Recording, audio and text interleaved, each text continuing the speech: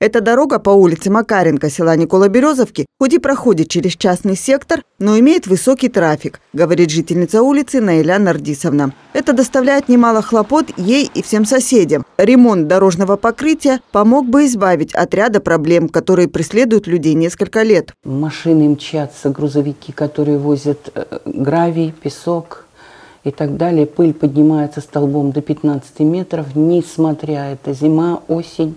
Я вот сегодня из дома пять минут не могла за ворота выйти.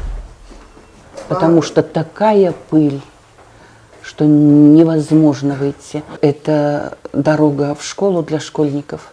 Зимой этот, э, эта дорога э, сужается до 3-4 метров, и, соответственно, ДТП опасной становится она для детей. Очень много лет э, решается вопрос о том, чтобы для детей тротуар постелить там, чтобы они ходили. Конечно, э, хорошо, что фонари поставили, а вот по поводу этого асфальта проблема очень большая. С просьбой помочь в решении вопроса по ремонту дороги, а также установке камер наружного наблюдения женщина и пришла на прием к депутату Госдумы. Встреча проходила с участием специалистов районной администрации. О ситуации жителей улицы Макаренко они знают и заверили, что решение вопроса по ремонту дороги у них в приоритете. По улице Макаренко пешеходный маршрут до школы. У нас на сегодняшний день стоит острый этот вопрос. Вопрос уже на стадии решение. Э, в прошлом году мы сделали перенос высоковольтной линии 10 киловольт. Вот, подготовили, получается, э, маршрут этот. И сейчас все зависит от финансовых средств. В этом году немножко тяжеловато из-за отсутствия возможности. Вот. Но, тем не менее, мы этот вопрос не исключаем из планов работ в 2022 году. Будем, к этому вопросу вернемся в третьем квартале 2022 года. К Рифату Шейхудинову обращались не только с общими вопросами, но и с проблемами частного характера. Так, например, супруги в свое время не успели оформить землю в собственность и теперь рискуют вовсе лишиться участка. В администрации района подчеркнули, что пробовали найти пути решения данного вопроса, но не могут идти в обход закона. Закон, который вышли в последнее время, в каком 18 году, да? Вот, э, гласит о том, что не, вовремя не оформленные участки, соответственно, они не являются собственностью владельцев, получается, если они не оформлены до конца. Он не был до конца оформлен, получается, на сегодняшний день он э, числится как э, ничейный. Он был предоставлен, но не был оформлен. И, соответственно, сейчас вот эти земельные участки, многие, которые у нас свободно есть, мы выставляем их на аукцион. Без аукциона мы их не можем. Но в аукционе они тоже участвуют. Ну, если поборется, пожалуйста, вопросов нет. Но мы идем законным путем, мы исполнительная власть. Изучив документы, Рифат Шейхудинов попросил семью написать на его имя обращение. Здесь необходима хорошая юридическая консультация. Я так понял, что им был выделен взамен их участка, который занял Орлан нефть, им был выделен муниципалитетом участок, да, районом. И этот участок они не успели оформить. И в соответствии с законодательством 2018 года все неоформленные участки признаны, соответственно, бесхозными. И э, район обязан их выставить на аукцион. В связи с тем, что этот участок примыкает к городу, там, понятно, ценники сейчас вырастут.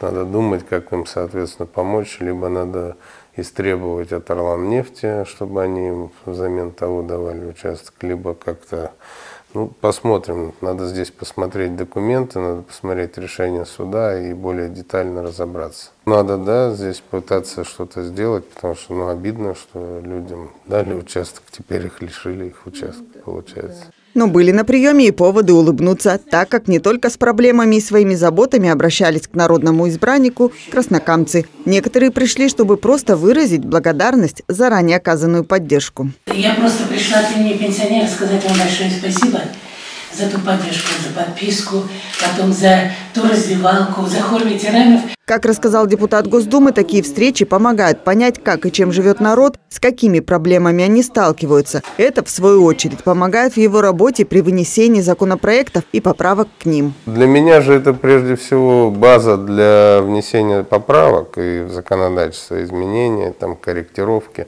Потому что статус депутата не заключается в том, чтобы материальную помощь оказывать, да, а он заключается в том, чтобы мы меняли законодательство.